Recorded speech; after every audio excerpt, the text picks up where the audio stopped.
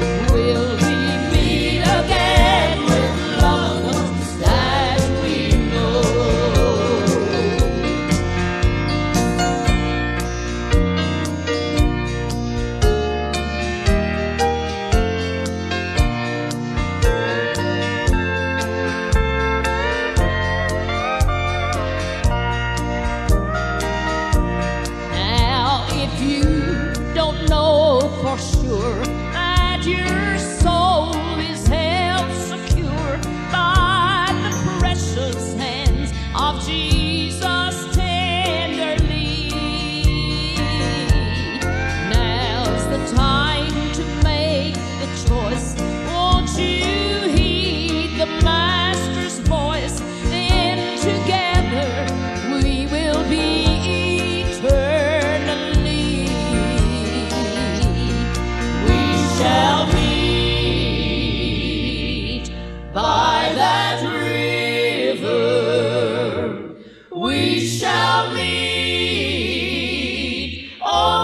streets of gold.